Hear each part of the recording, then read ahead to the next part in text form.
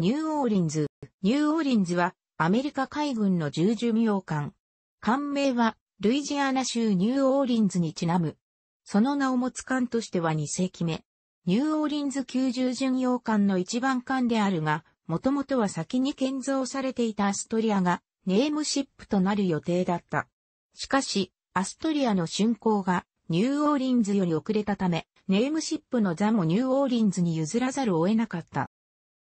ニューオーリンズは1931年3月14日にニューヨーク海軍造船所で寄港する。1933年4月12日にコーライス・ジャッキー海軍次官補の娘によって命名、浸水し、1934年2月15日に艦長アラン・ビーリード大佐の指揮下収益した。1934年5月から6月にかけて北ヨーロッパで整調巡航を行った後、ニューオーリンズは6月28日にニューヨークに帰還した。7月5日にニューオーリンズはルーズベルト大統領の乗ったヒューストンと共に巡航し、パナマ運河の通過と飛行船メイコンとの演習を行った。巡航は8月2日にオレゴン州アストリアで完了し、ニューオーリンズは直ちにパナマ及びキューバに出港した。1935年にはニューイングランド沖で訓練を行い、その後ルイジアナ州ニューオーリンズを訪問。続いて、第6巡洋艦分艦隊に合流し東、太平洋で作戦活動に従事する。ニューオーリンズは1936年8月20日にニューヨークに帰還し、12月7日に太平洋に向けて出港した。1939年の初めにはカリブ海での冬季訓練を行い、その後カリフォルニア州の港を拠点として活動、10月12日にハワイ分艦隊に配属される。戦争が近づくとともに警戒巡航を行った。1941年12月7日の真珠湾攻撃当日、ニューオーリンズはその真珠湾で入居中であり、電力は陸上から供給されていた。攻撃が始まるとニューオーリンズの機関部は大急ぎで機関を始動させたが、電力は欠乏した。5インチ方法側の弾薬箱は鍵がかかったままで弾薬が使えず、溶弾機も動かなかったため、手焼き総員による手渡しで5インチ砲弾薬を玉から運び出し、さらに溶弾し、あるいはライフル銃や拳銃で日本機に応戦した。爆弾一発がニューオーリンズの近くで爆発し多くの乗組員が破片で負傷したものの、ニューオーリンズ自体には大きな損害はなかった。真珠湾攻撃後、ニューオーリンズは機関修理を切り上げ、4機のうち3機を動かして、ジョンストン島及びパルミラ干渉への輸送船団の護衛についた。その後、新型レーダーと20ミリ機銃の装備のため1942年1月13日にサンフランシスコに開港された。整備が終わると、ニューオーリンズは2月12日にブリスベン行きの輸送船団を沼山で護衛た後に、真珠湾に向かい、第11任務部隊に合流した。4月15日、第11任務部隊は、ニューヘブリディーズ諸島で空母ヨークタウンを機関とするフランク・ジェイ・フレッチャー中将と合流。巡洋艦、駆逐艦部隊と共にオーストラリア及びニュージーランドをつかんとする日本軍の南進を阻むべく行動した。5月7日から8日にかけて発生した産後海海戦ではニューオーリンズは被弾して大きく損傷し炎上する空母レキシントンに横付けしてレキシントンの乗組員を救助した。ニューオーリンズがレキシントンの乗組員580名を救助し終わって離れた直後、レキシントンは大爆発を起こしいかんともしがたい状態になった。ニューオーリンズは、ヌメアで、レキシントンの乗組員を上陸させた後、東ソロモンを経て、真珠湾に帰島した。5月28日、ニューオーリンズは、エンタープライズ、ホーネット機関の第16任務部隊、レーモンド・スプルーアンス少将と共に、真珠湾を出撃、6月2日に、ミッドウェー島北東海上で第17任務部隊と合流。二つの任務部隊は、南雲忠和中将率いる第一航空艦隊を中心とする日本艦隊と激突。ミッドウェー海戦が正規した。第一機動部隊の3空母、赤城、加賀、総流が、クラレンス・マクラスキーの SBD ドーントレスの奇襲により炎上後、残った飛竜からの攻撃隊がヨークタウンを襲い、3発の爆弾を命中させた。飛竜を撃沈して4空母を壊滅させたが、ヨークタウンも大きく損傷して放棄された。ニューオーリンズは海戦で損傷することもなく、真珠湾に帰投した。7月7日、ニューオーリンズは空母サラトガ機関の機動部隊を護衛して、真珠湾を出撃し、フィジーを経由してソロモン方面に向かった。8月24日から25日にかけては日本機の空襲に見舞われたが、撃退した第二次ソロモン海戦。8月26日、ニューオーリンズはガダルカナル島に上陸した部隊の援護に努め、サンゴ海海戦からおよそ2ヶ月ぶりにサンゴ海で行動した。8月31日にサラトガが E26 の来撃で損傷すると、ニューオーリンズはサラトガを護衛して9月21日に真珠湾に帰投した。ニューオーリンズは修理を行い、フィジーを経てエスピリットサント島に向かい、11月27日に到着した。ニューオーリンズは他の4隻の巡洋艦及び6隻の駆逐艦と共にカールトン H ライト賞のに加わった。11月29日、第67任務部隊は出撃し、東京急行を封じるべく、ガダルカナル島沖に急行した。11月30日が終わろうとするその少し前、田中雷蔵少将率いる第二水雷戦隊の一隊が、サボ島の西南方からアイアンボトムサウンドに侵入。第67任務部隊は、連合水道からヘンダーソン飛行場寄りのコースで侵入した。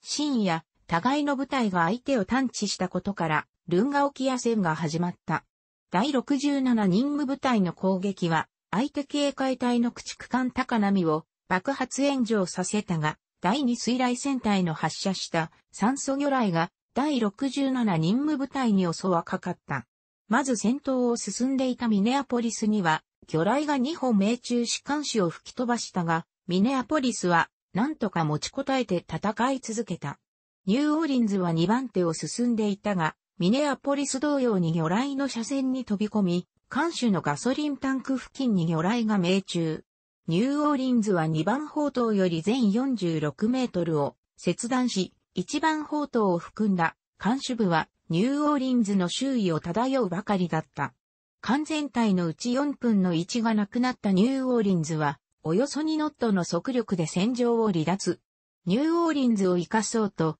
乗組員の懸命な努力と巧みな操艦により、ニューオーリンズは12月1日の夜明け前に自力でツラギ島に入港した。空襲からニューオーリンズを救うため、ヤシの葉でニューオーリンズを覆い、その間に残骸の後始末を行った。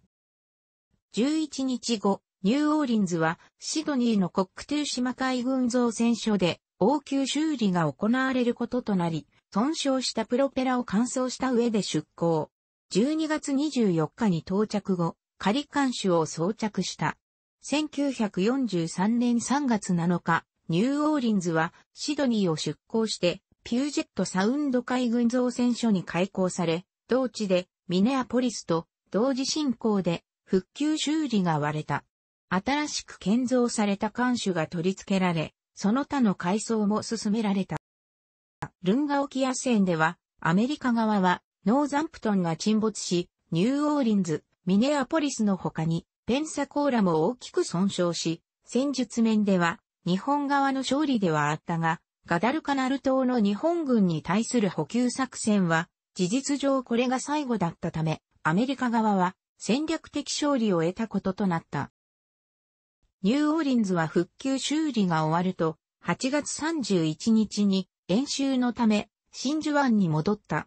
ついで第14任務部隊、アルフレッド・イーモント・ゴメリー少将に合流し、10月5日から7日にかけて行われたウェーク島への攻撃に加わり、日本の来撃機を撃退した。11月10日に真珠湾に帰島後、10日後の11月20日にガルバニック作戦に参加してギルバート諸島に向かった。同方面で機動部隊の護衛に当たったが、12月4日のマーシャル、諸島沖航空戦で空母レキシントンが雷撃機の攻撃で損傷したため、ニューオーリンズはレキシントンを護衛し、真珠湾に向かい、12月9日に到着した。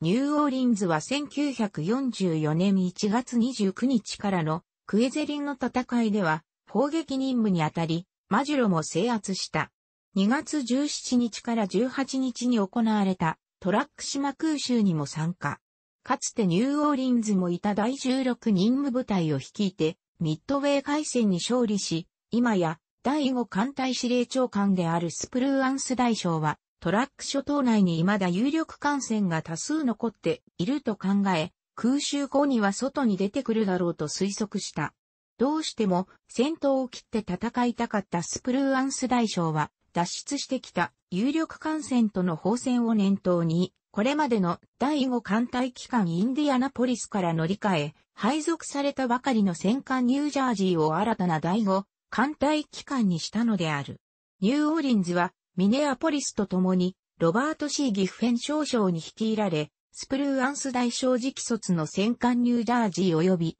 アイオワ、駆逐艦4隻と共にトラック諸島の外を一周。午後もだいぶ経った頃、部隊は関西機の空襲により航行不能になっていた軽巡洋艦カトリと駆逐艦埋風、及び脱出を図る駆逐艦の訳を発見。スプルーアンス大将は、戦艦の目標をの分けに、ニューオーリンズとミネアポリスの目標をカトリにと割り振った。の分けは、脱出に成功したが、カトリとマイ風は、射撃を続けながら沈没していった。また、この戦いの前後に特設苦戦艇及び苦戦艇を、砲火で撃沈した。第58任務部隊、マーク・ミッチャー中将は、トラックに続いて、マリアナ諸島を攻撃した後、マジュロを経て、真珠湾に帰投した。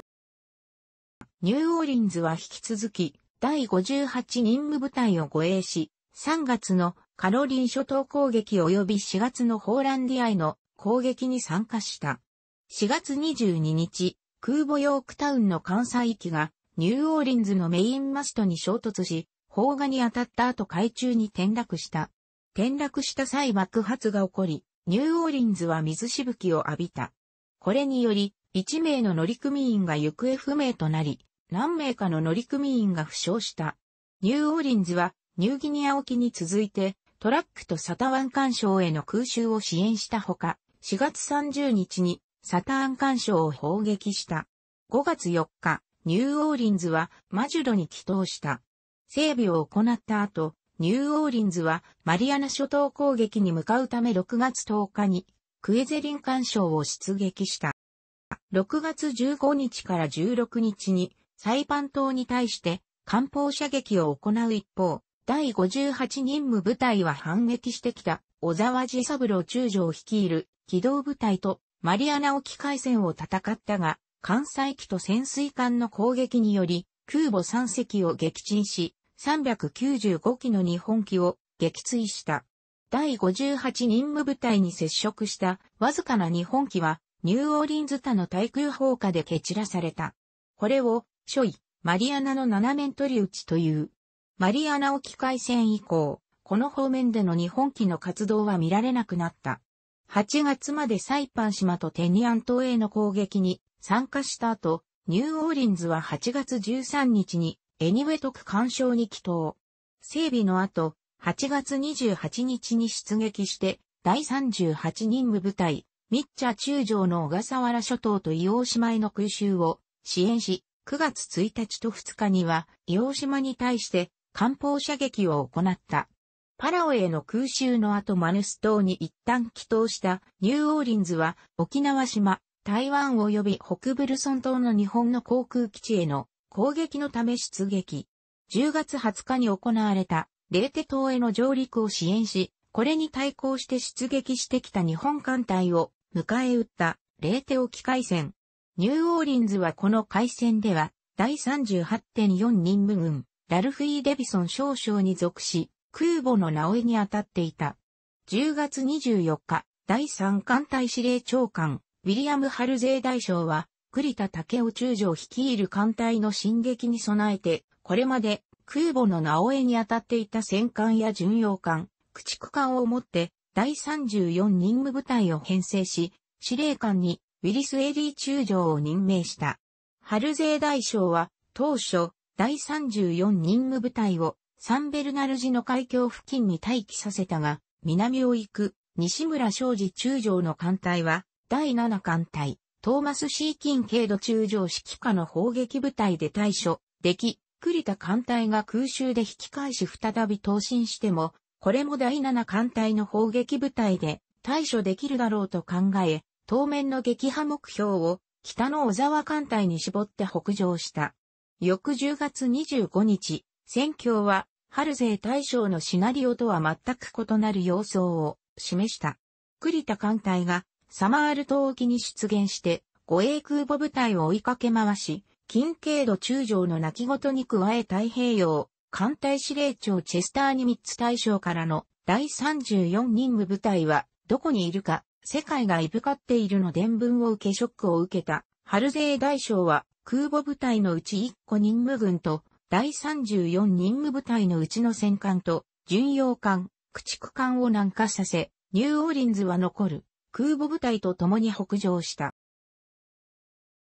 午後遅く、ニューオーリンズは重巡洋艦ウィッチした軽巡洋艦サンタフェ、モービル及び駆逐艦軍と共にローレンス・ティー・デュ・ボース少将に率いられ北上を続けていた。その時、レキシントンの関西機がサンタフェ近くを飛行し、近くに空母が放置されていると報告。16時25分、ニューオーリンズは目当ての空母チヨダを発見し、ウィチタと共に砲撃を開始。サンタフェ、モービルも砲撃し、チヨダは一方的に撃たれ続けた後沈没していった。冷凍機械戦でアメリカ海軍は日本艦隊を叩きのめし、空前の勝利を収めた。ブルシー干渉での補給後、ニューオーリンズは引き続きミンドロ島進行に先立つ、フィリピンに対する航空攻撃を行う、第38任務部隊の護衛を行い、その後ハワイに戻って、道中で訓練を行い、12月後半には、オーバーホールのためメアアイランド海軍造船所に向かった。ニューオーリンズは1945年4月18日にブルシー干渉に帰投し、沖縄島への艦砲射撃任務のため2日後に出撃し、4月23日に到着した。沿岸砲台との砲撃戦を行う。2ヶ月近くを沖縄戦の戦場で過ごし、その後補給と修理のためフィリピンに向かう。8月15日の終戦時、ニューオーリンズはスービック湾にあった。ニューオーリンズは8月28日に巡洋艦駆逐艦部隊と共に中国及び朝鮮半島の港に向けて出港した。ジンタオで日本軍艦艇の接収、連合軍捕虜の収容、中国及び朝鮮での占領軍の上陸支援を行い、11月17日に機関兵を乗せて帰国の途に着く。機関兵は佐世保でさらに乗り込み、12月8日にサンフランシスコで上陸した。1946年1月に同様の任務でグアムに向かい、その後パナマ運河を通過し、ルイジアナ州ニューオーリンズに10日間の訪問を行った後、フィラデルフィア海軍交渉に向かい3月12日に到着した。ニューオーリンズは同地で1947年2月10日に退役し、1959年3月1日に除籍、1959年9月22日にメリーランド州ボルチモアのボストンメタルズ社にスクラップとして売却された。ニューオーリンズは第二次世界大戦の選考で17個の従軍聖賞を受賞した。楽しくご覧になりましたら、購読と良いです。クリックしてください。